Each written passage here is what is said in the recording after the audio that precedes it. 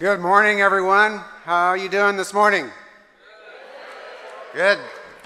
Welcome to the eighth annual academic convocation. I'm Rick Muma, president here at Wichita State, and I'd like to extend a warm welcome to our students, faculty, staff, and all community members attending today's program. Academic Convocation is an event that is meant to bring our learning community together to celebrate a new academic year and tie into the ideas and themes from the WSU Common Read program. This year's book, My Broken Language, a memoir by Quiara Alegria Hudes, is being used in several classes this year and serves as the foundation for a collection of programs that will unfold over the coming months. And we are honored and excited to have Quiara with us today.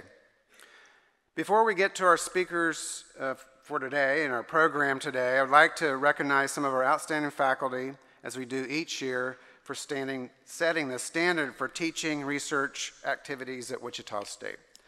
On the screen, you will see the names of our faculty members who were honored with the 2023 Faculty Awards this past spring. If there are any faculty members present with us today, please stand as your name is read. The first one is Jay Han Bun, Excellence in Online Teaching, Nils Hakansson, Excellence in Research, Amy Drassen Ham, Leadership in the Advancement of Teaching, John Hammond, Academy for Effective Teaching, Hongshi He, Young Faculty Risk Taker, David Long, Excellence in Teaching, Mythili Menon, Young Faculty Scholar, Aubrey Nyhouse, Young Faculty Risk Taker, Lisa Parcell, Excellence in Community Research, Perliker Tam Tam Academy for Effective Teaching, and Bayram Yildirim, Faculty Risk Taker. Thank you all for your work in helping strengthen our academic community.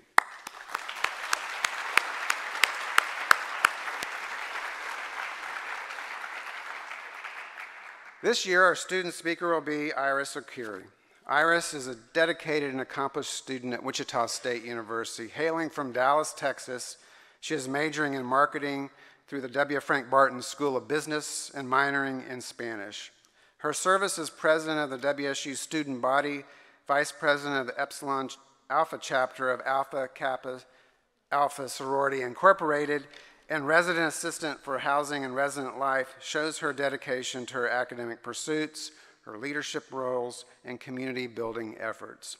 She's an inspiring role model for her peers and an asset to Wichita State University. Please welcome Iris to the podium.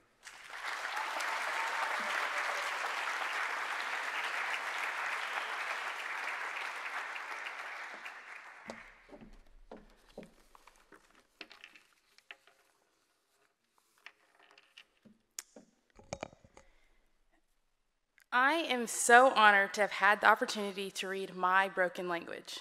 Throughout this memoir, Hudes shares personal anecdotes and challenges she faced in her life and career. Her journey highlights the importance of resilience, learning from setbacks, and finding one's voice. Hudes reflects on her own cultural identity as a Latina and the role that language plays in shaping that identity. She explores the tensions between her Puerto Rican heritage and her American upbringing and how it has influenced her sense of self. As a child, my parents never allowed my sister nor I to say races. We went by ice cream flavors. For example, chocolate, vanilla, caramel, peanut butter, etc. We did this because my parents wanted us to love all people like we loved ice cream. My parents are from two totally different cultural backgrounds. My mother is Mexican and my father is Nigerian. I've had my societal struggles with my identity, my hair, my skin tone, but I've learned from all of them. They've shaped me into the Afro Latina woman I am today. Hudes discusses the importance of family and heritage in shaping one's identity. She explores the stories and traditions passed down through generations and how they connect individuals with their roots. La familia lo es todo. In the Hispanic culture, I just feel like we are so family oriented. In the book, Hudes tells the story of the first time of her hanging out with the older cousins and becoming a woman all in one day. Personally, I could relate to having so many cousins, but being too young to hang out with the older ones and too old to be playing with the younger ones. The stories to tell. I remember the first time I was allowed to sit with the adults and hear what they were talking about. When I tell you it was Tías and Tíos drinking beverages, just reminiscing on stories from their childhood. I'll never forget listening to Tío Roy and Ramon telling the story about Tía Betty wanting to go to a casino and having several Coca Colas and barely making it to the restroom. These men were screaming, laughing, mimicking Tía Betty. But before they left, they had to make sure, they said, make sure you give her a call so you don't give her ojo. The complexity of language is a huge theme throughout this story, as Hudes delves into the multifaceted nature of language, discussing how it can both unite us and divide us. She explores how language can be a powerful tool for communication and self expression, but also can be a source of frustration and miscommunication. Nobody has the same walk of life from the next, and I think that it is important to celebrate differences with the intent to respect the differences. On behalf of the Student Government Association and the rest of the student body, welcome to Wichita State. You have made it far into the year as we celebrate the end of the first six weeks of the semester. You are achieving something that many people dream of the opportunity to go to college. Whether you're the first to go to college or the fifth, you should honor this time and celebrate your collective victories and accomplishment. Find your people. Speak up when things are hard. Reach out for help. I know it's easier said than done. Check in on your people. Don't ghost your family. Your mom just wants to know that you're eating and going to class. I am here for you. Welcome to Wichita State, and I hope you make the next four years truly something to remember. In the tapestry of life, we are all threads of unique experiences and stories. Just as Quiara Alegria Hudes learned from her broken language, remember that our imperfections are our strengths, and our stories are our bridges to understanding. Embrace your identity, share your narratives, and find unity in diversity. As I embrace my Latinidad, I invite you to embrace who you are and to live in this life authentically you. Thank you.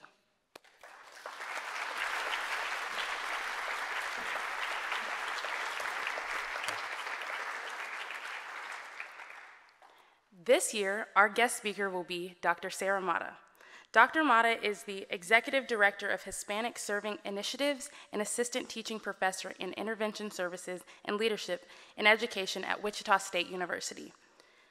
Dr. Mata received a bachelor's degree in sociology with an emphasis in juvenile corrections and treatment, a master's in communi community counseling, a master's in sociology, and a doctorate in social foundations from Oklahoma State University. Throughout Dr. Mata's career in higher education, mentoring and advocating for students has been the core and primary purpose of the work. Her contribution to Wichita State University, the Hispanic Association of Colleges and Universities, court appointed special advocates of Sedgwick County, and the National Association of Student Personnel Administrators is second to none. Please welcome Dr. Sarah Mata to the stage.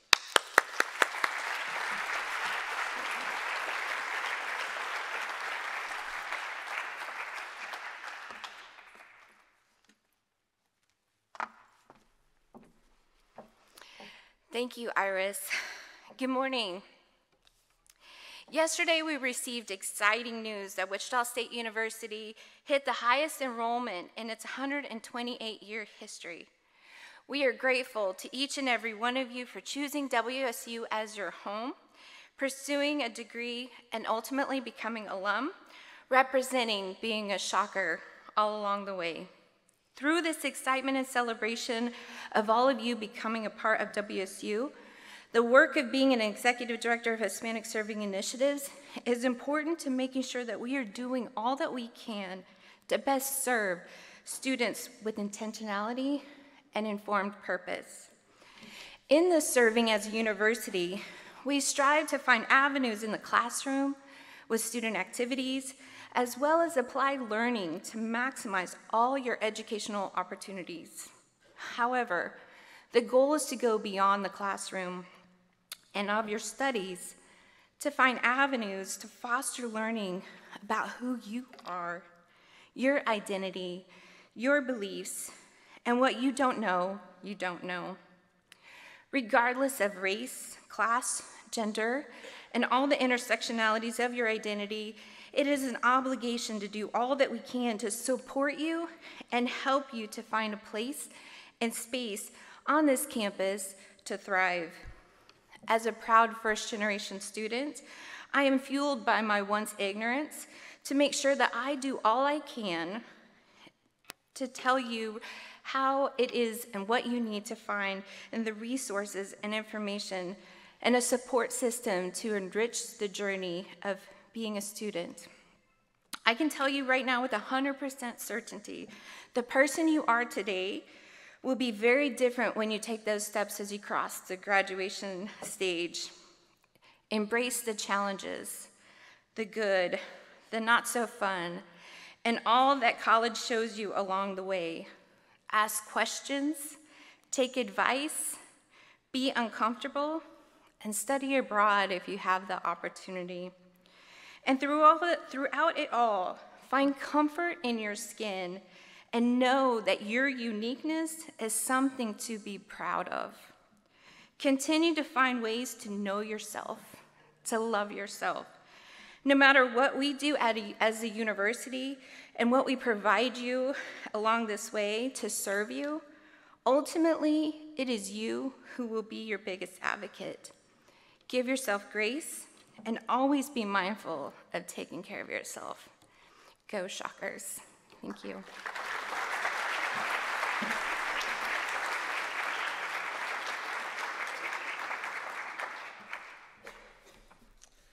Thank you so much, Dr. Mata, for your inspiring words this morning. Good morning, everyone. My name is Aidan Sosa and I have the privilege of serving as Assistant Director of First Year Programs here at Wichita State University. We're going to start off a little bit differently this morning, um, and I hope you all can play along with me. So I'm going to say woo, and you all say shock. It's going to go like this woo, shock, woo, shock. Is everybody ready? Thumbs up. More thumbs in the back, please. Thank you. All right, we're going to get started. Ready? Woo. Woo. I think we could do better, Wichita State. So let's do that one more time. Woo. Woo. Thank you.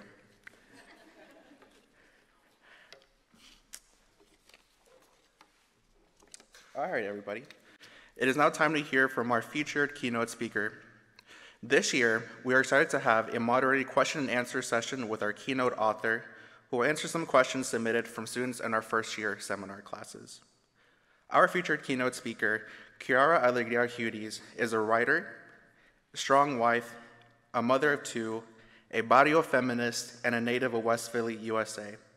Held for her works, her intellectual rigor, and rich imagination, her plays and musicals have been performed around the world. They include Water by the Spoonful, winner of the Pulitzer Prize for Drama, In the Heights, winner of the Tony Award for Best Musical and Pulitzer finalist, and Elliot, A Soldier's Fatigue, another Pulitzer finalist. Hudes also wrote the screenplay adaptation for In the Heights, which was released in movie theaters in the summer of 2020.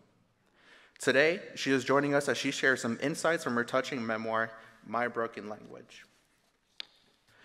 Please help me in welcoming our moderator, myself, and also our featured speaker, Quiara Alegria Hudes, to the stage.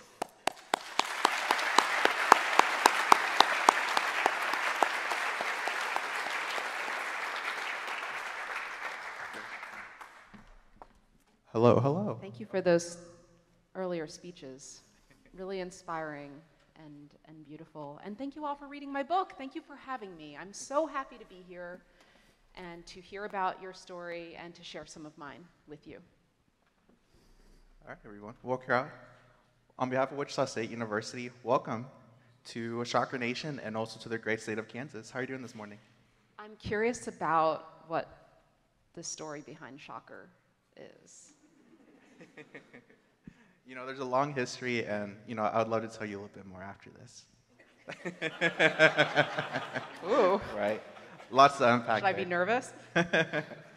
um, but yeah, we're we're super excited for you to be here this morning. Um, it's a privilege and an honor to share this stage with you, and also just to be here, learn, and reflect with you with some of your life experiences from your memoir, My Broken Language, and there are some very beautiful moments, definitely some points of joy and laughter, but you know, there are also some very real moments. um, that I think myself and many in this room have connected with. So, um, as mentioned earlier, I'd like to move on to some of our questions that were submitted from, from some of our first year students here at Wichita State University. Let's do it. Great. So, the first question that we have for you this morning is How and when did you know that you had found your calling? How and when did I know I had found my calling? Um, the book, I don't, I don't know that everyone here has finished the book. I think most students are somewhere still in process of reading. Um, but just so you know, timeline-wise, the book goes up through um, me going to school for being a playwright. It doesn't actually, it stops before I start my career, before I start my professional life. Um, so how did I know I had chosen the right path? Um, as you know from the book, I was a curious kid and I kind of followed those curiosities, like I kept pulling the thread of the sweater. And especially in two regards. One was in music. I just loved music so much. And I dove deep. I played by ear. I learned how to read music. Um, and the other one was eavesdropping on all my family stories. Um, you know, not something anyone ever thinks of as a career. I just liked to do that. Um, I think what I did was I followed that passion of music until life told me, and this is a, a moment in the book, life said, let it go. Um, I never thought that was coming. I thought I'm going to be a musician all my life. And all of a sudden, this passion I had spent, you know, 20 years of my life diving into, my heart just said, say goodbye and thank, thank you, music, for all you've given me. I didn't see that coming at all. It was shocking.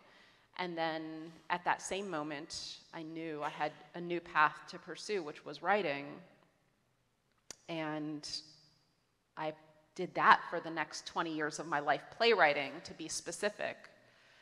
Um, always reading a lot, going to see a lot of theater, just following my curiosities, listening to community stories. And now I'm 46, and a few years ago, something similar happened in my life, which was thank that and bless that and send it on its way. It's time to do something different. So I'm writing books now. You know, so I don't know when I figured out which was the right path because I'm still figuring it out and life is showing me too. I'm not just sitting in a dark room strategizing. I'm, I'm responding to just my heart as I move through the world. Um, but a, another quick story the personal version of how I knew playwriting was the, the right life for me, and this is not in the book, this is after the book. Um, my first play in New York, I wanted to write a play about um, Puerto Rican men and women in the United States military. Really interesting history that even though my family was part of, I didn't know much about beyond our family stories. So I interviewed my cousin who had served in Iraq as a Marine, and I wanted to interview my Tío, my uncle George, who had served as a Marine in Vietnam. So I was going, I planned to interview him about his service. And his wife, my Aunt Ginny, it's like, oh, he never talks about that. Good luck with that interview. Tío George is a very jolly, friendly person, but that is stuff we don't talk about.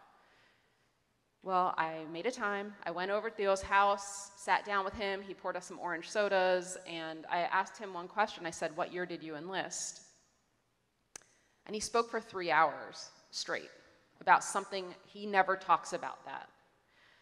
He cried. I had never seen Tío George cry. He chuckled a lot.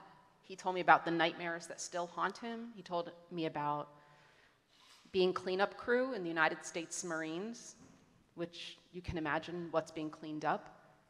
Uh, he told me about falling in love. He told me a whole life of his. And I called him the next week to thank him for that interview, and he said, No, Kiki, which is, you know, it's my nickname when I was a kid, Kiki. He said, No, Kiki, I have to thank you. I said, For what? He said, I haven't felt this light in 30 years. And I did that by asking him a question, literally asking him, Can you tell me your story? It was the simplest, easiest thing I could do. And so, whatever happened with the plays, whatever prizes they get, whatever, if they go to Broadway, if they get good reviews, what, that didn't even matter anymore. The ability to have a process that can make a connection like that, I knew I had chosen the right path. Yeah, and I would love to touch on a little bit about, you know, you've been through several transitions, you've done some exploring in your life in different careers, and, um, you know, I'd love to learn more about, um, you know, what helped you keep grounded during all of those transitions, um, from being a playwright to producer to a mother. You know, what really helped you in keeping grounded through it all? Well, as you know, I come from a family largely of women, and there was a lot of wisdom there. So the wisdom that I, it would, it was helpful. Um, for instance, one thing I think of is they used to tell stories about um, when my mom grew up in Arecibo in Puerto Rico. They always would not finish the dinner food. They were humble. They were farmers. There was not a lot of, you know, a lot of money. They were humble meals, but they always set aside one plate just in case a neighbor walked by, so that they could say, "Come sit and eat." You know, and that's like a life philosophy. Um, you know, my my theater actors used to be so confused and be like, "Why why are you feeding us at the beginning of rehearsal? Let's just get to work." I'm like, "Cause this is part of this. We're making a family here." Um, little bits of wisdom like that. Uh, I interviewed a man named Corey Menafee who um, changed, he was a dining hall worker at Yale. He was one of the people who served the students food and cleaned up after the students every day while I was a student there. He also um, vandalized a part of the school. He knocked out a window that kind of showed a kind of glorified, beautiful portrayal of slavery, because Yale has ties to slavery, and um, he when, once he saw that, it really irked him, and he couldn't take it anymore, and he knocked out, he banged out the window. He got in big trouble. He got arrested for it, um, and I interviewed him about his relationship with the college. And one of the things he told me with a big smile, he was so proud. He said, "You know, I always had the the um, ability to walk with kings and bums alike these little bits of wisdom you hear from your community members and from everyday people, what a, what a beautiful thing to try to do, to walk with kings and bums alike, to, to be able to, to hang in both of those spaces. So those, those little bits of wisdom keep me grounded. I love that. And um, community and, you know, respecting your elders and the wisdom from, you know, our ancestors are deeply important, and you touch on that a lot on um, within your memoir. So um, you know, our next question that we had was, how are you able to keep your community with you in all of your success? Well, it's part of my mission, right? So, are there are there a lot of first generation students here First in the audience?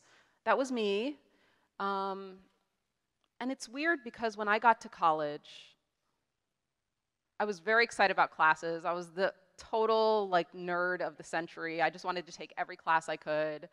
Um, I was very excited academically, but I was more nervous socially. And I had this feeling walking around campus that if my family, I could kind of blend in, but if my whole family was there, there would just be this vibe of like, what are they doing here? A little bit. Um, I remember going into the, the music library because I was a music major undergrad, and I went to the listening library. It's, it's what it sounds like. Um, it's a little different now with that we can listen to music on our phones, but it used to be that if I wanted to hear a Beethoven sonata or a Gershwin song, I would go to the listening library, they'd pull a record or a tape, I'd take it to a little listening station and put it on and listen to it. And I heard that they had an ethnomusicology section there. Now, the, the music department at Yale was largely Western, white Western classical music. And so ethnomusicology was, to me, what it sounded like a little bit of a code word, even though it was a department, but it was also like a code word for not Western white classical. So I was like, oh, let me check this out. Maybe it has some music that I'm interested in from my community, from my home.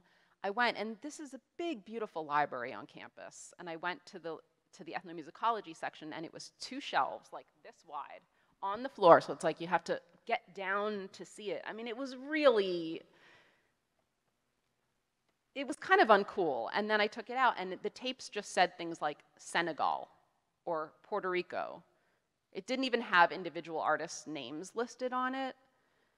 And meanwhile, everything is like Beethoven, Strauss, Haydn, Mozart. I'm like, these men's names mattered so much. But this is just a tape that says Senegal. And it upset me so much that I thought, like, I still think about that today. I, it made me think about how my mom used to tell me that with the history of colonization in Puerto Rico, a lot of names were erased, a lot of indigenous names, a lot of African names were, were removed from people, and the colonizers' names were put on them. And I just felt like, no, we get a shelf with our names on it. It became kind of a mission of mine. And how do I do that? How do I bring my community with me? I, I ask their stories.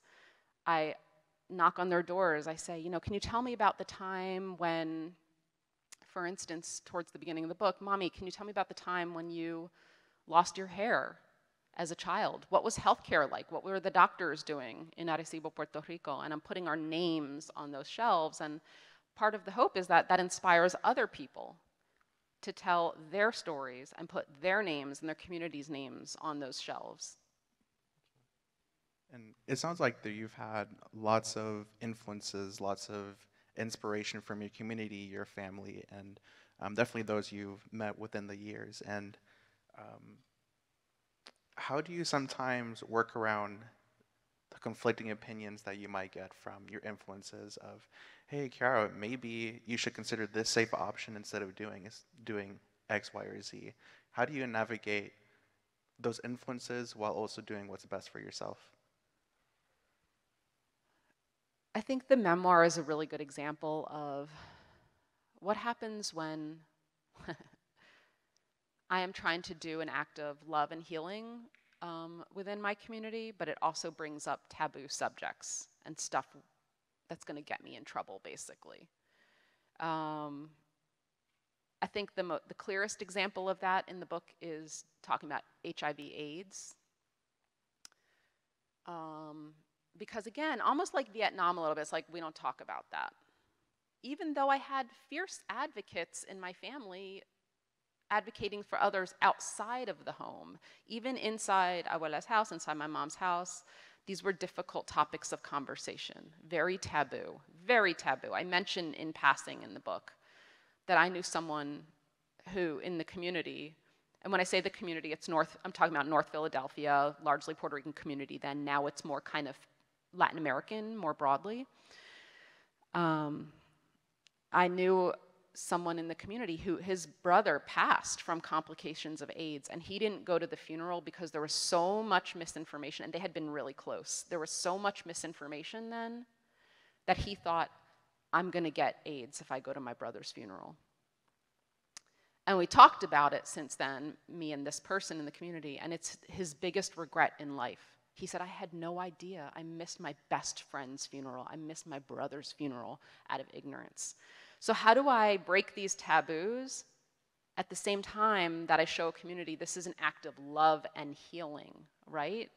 Because we hear a lot of talk about healing, we hear a lot of talk about wellness as if it's all supposed to just feel good and feel fuzzy. No.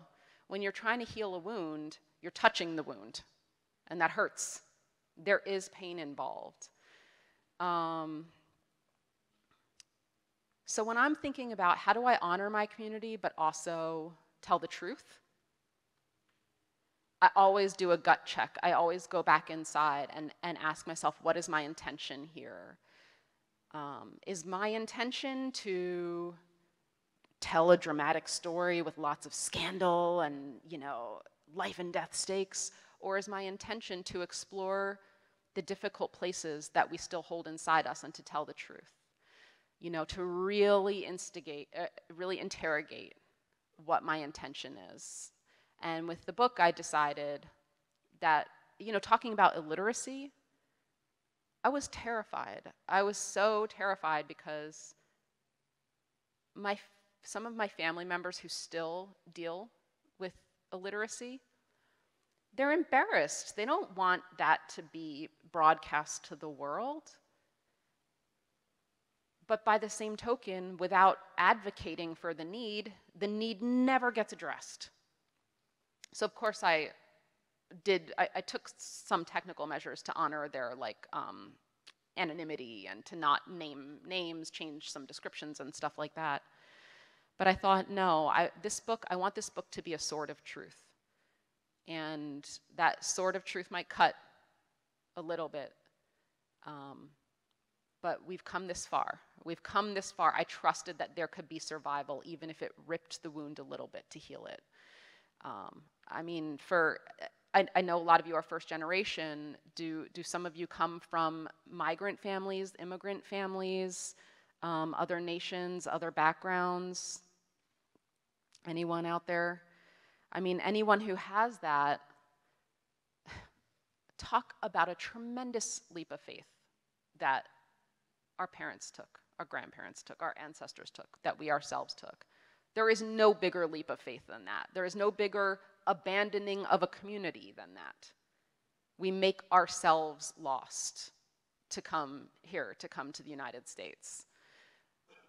And yet, we expand the circle of who our community is by doing that act too. So, you know, it's, it's both of those things.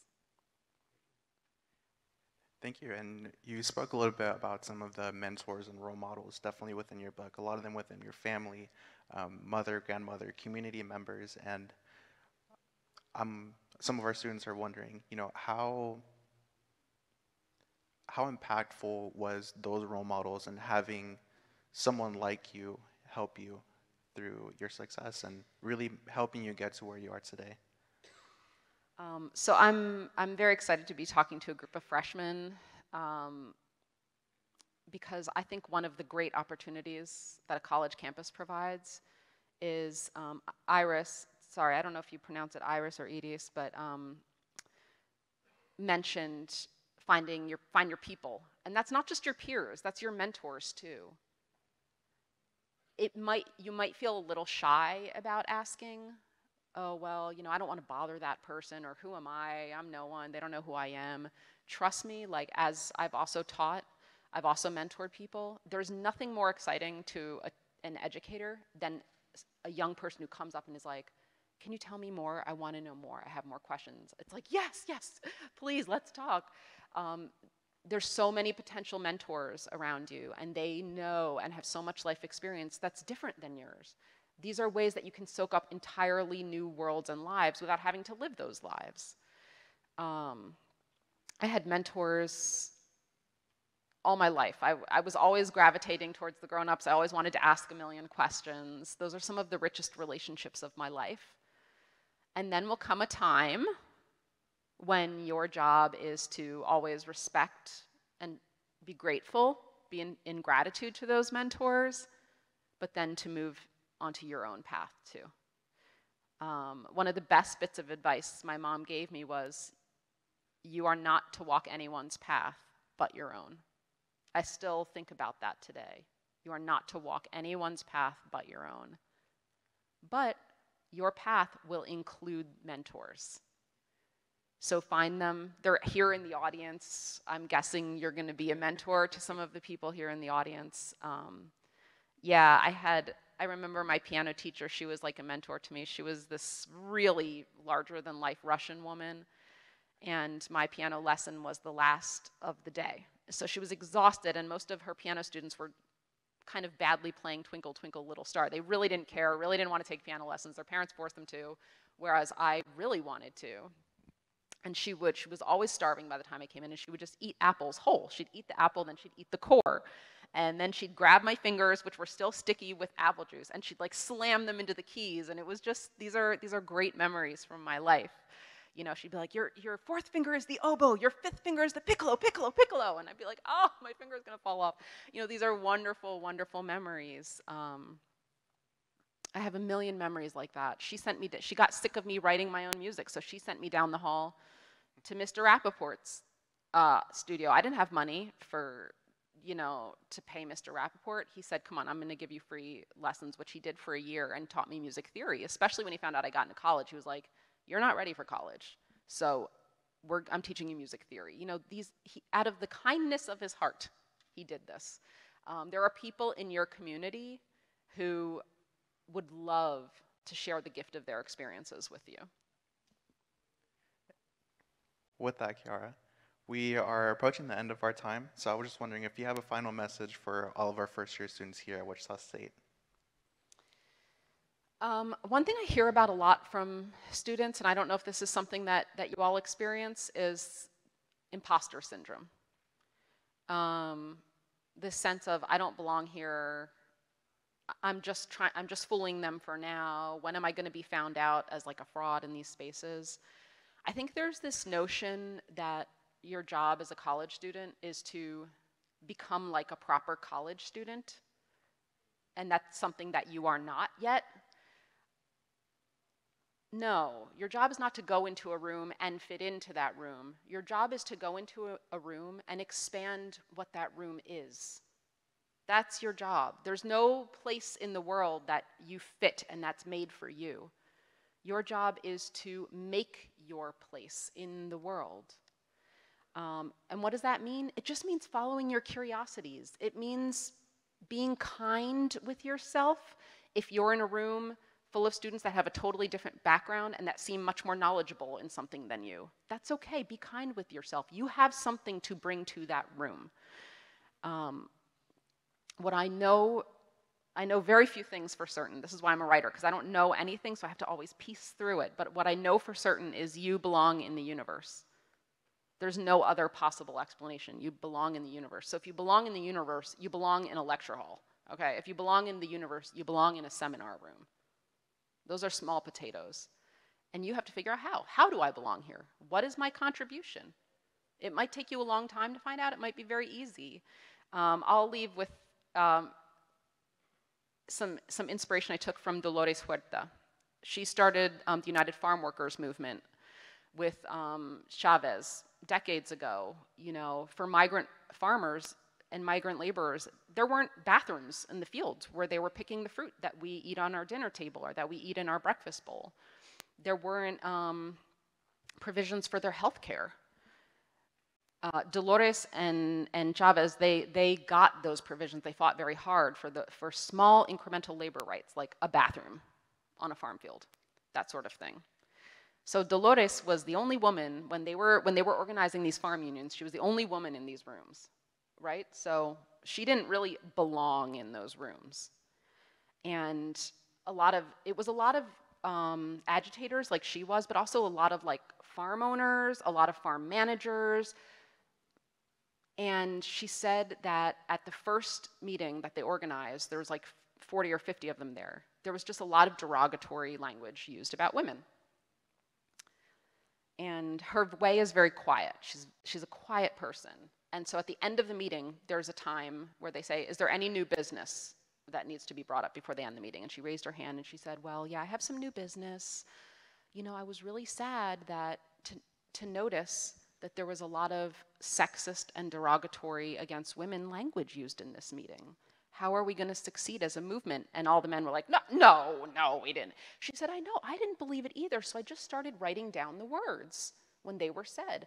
She didn't say who said the words, she just read the words that had been heard in, in a non accusatory way. She said, I hope next time there will be fewer. The next meeting, when they said, Is there any new business? She raised her hand. She said, Well, I just want to thank you because last week there had been 72 derogatory words, and this week there were only 23. Thank you. And she read the 23. And then the next meeting, there were zero. She didn't belong in that room, but she found a way through her own, you know, they're talking loud, they're talking strong. She's talking quiet. She's talking at the end. But boy, did she find a way to change that room for the better. And now there's things like bathrooms on a strawberry field. You know, these, you belong in the rooms where you are, but you might have to figure out how. Ooh, can we get everyone applause for that?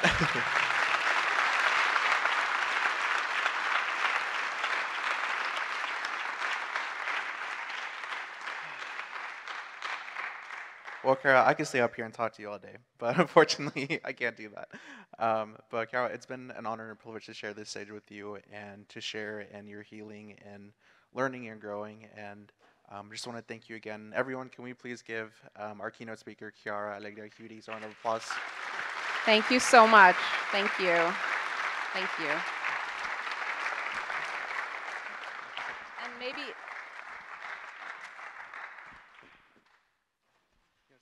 I was gonna. And maybe I'll get to talk with some of you after at the book signing yes. afterwards. So. Well, yep, no one. Nobody leave yet. We are not finished. Thank you.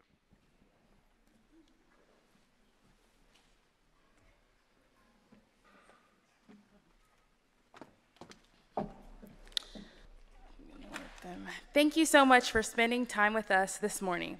I enjoyed listening to your experience and thank you for sharing a bit of yourself with our community campus today.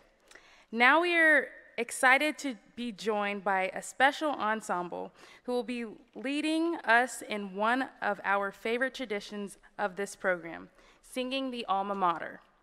This year, we are hearing for the first time a new arrangement of the alma mater. You can find the words on the screen of the stage. After the pro- program, please join us for a reception and book signing by Quiara at the Ulrich Museum, second floor. Please stand as we all join the choir in singing the alma mater.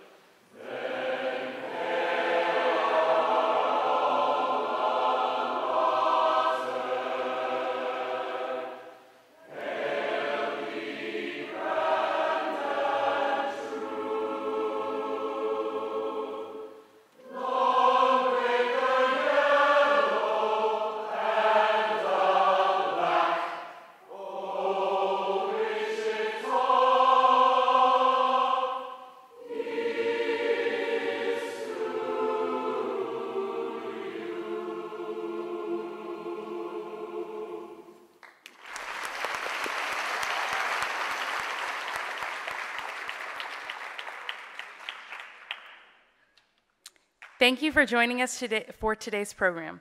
Please head out to the Ulrich Museum second floor where we can meet you for Quiara at the book signing and reception. Have a great year, Shockers.